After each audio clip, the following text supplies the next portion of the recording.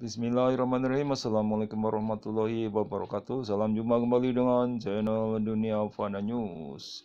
Hari ini tanggal 4 Agustus 2020 Pihak berwenang Malaysia dalam hal ini adalah Polis Diraja Malaysia Telah mendatangi kantor Al Jazeera di Kuala Lumpur Untuk menyita dua unit komputer dalam rangka penyelidikan kasus video dokumenter Al Jazeera terkait dengan tuduhan rasialisme dan diskriminasi terhadap para imigran gelap sehubungan dengan masa uh, pandemi COVID-19 ini.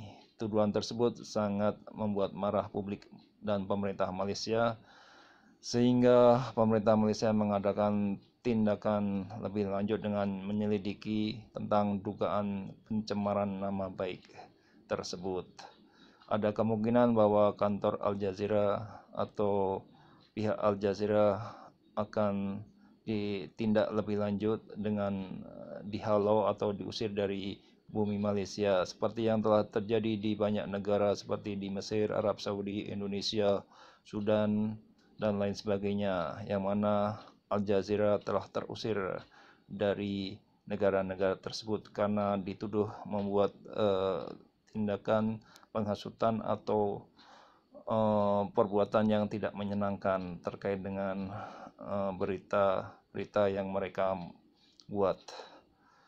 Demikian informasi yang bisa kami sampaikan. Semoga bermanfaat. Terima kasih atas perhatian Anda semuanya. Wassalamualaikum warahmatullahi wabarakatuh.